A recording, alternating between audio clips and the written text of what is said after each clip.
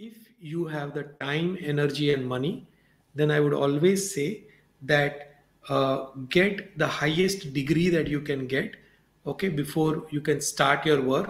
Hello and welcome everyone. If you are new to this channel, then my name is Amit Patel and uh, you are watching Musings with Software Engineers.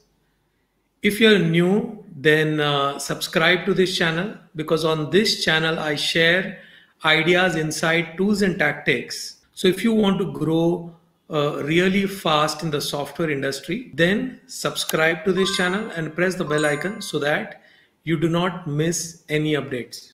What is your opinion on MCA after BCA?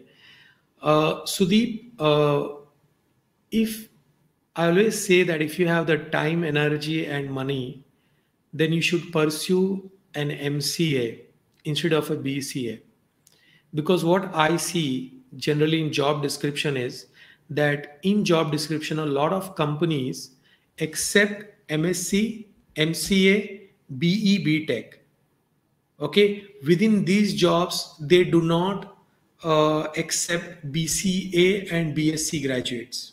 Okay?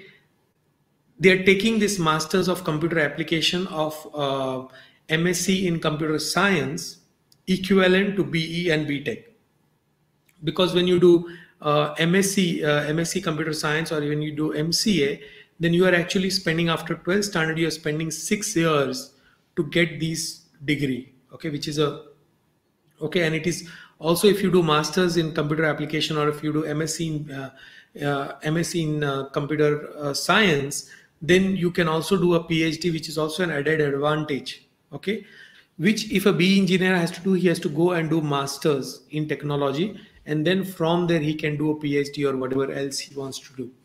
Okay? So uh, i would my opinion is that uh, if you completed bca and uh, if you have the time energy and money to pursue mca then you should pursue. It will certainly i always say uh, that your career is like a, a big skyscraper building. Okay? And one is you can you can grow in your career using the staircase. You can go step by step, one step at a time. That is, you do BCA, you get a job, and then you work hard on your job. That is the staircase approach. That was my approach. I did that approach. Okay. But after one year, I set up my own business. Okay. So I set up my own business after one year of job. And then I worked in my own business for 11 years. So during that time, I got all the education that I required which was better than just doing a job. Okay? So in my case even if i went on staircase from second floor or third floor i took the lift. Okay? And when you do M- mca or msc then you're taking the lift. Okay? Or you're doing be or btech you're taking the lift. See when you do any kind of a certification degree uh, any of these or or you get really good marks this is you are taking a lift in your career. You're you're right from beginning you're going up in your career. You are you're directly going to the second third floor very fast.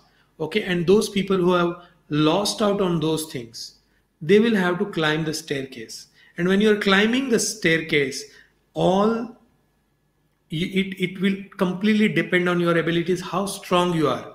Maybe somebody can climb the staircase so fast they can they can even surpass you in the lift. Okay? But not everybody can do that. So if you have the time energy and money then i would always say that uh, get the highest degree that you can get okay before you can start your work. That will give you more bandwidth that will give you more options that will open more doors for you and it will also help you in your long term career.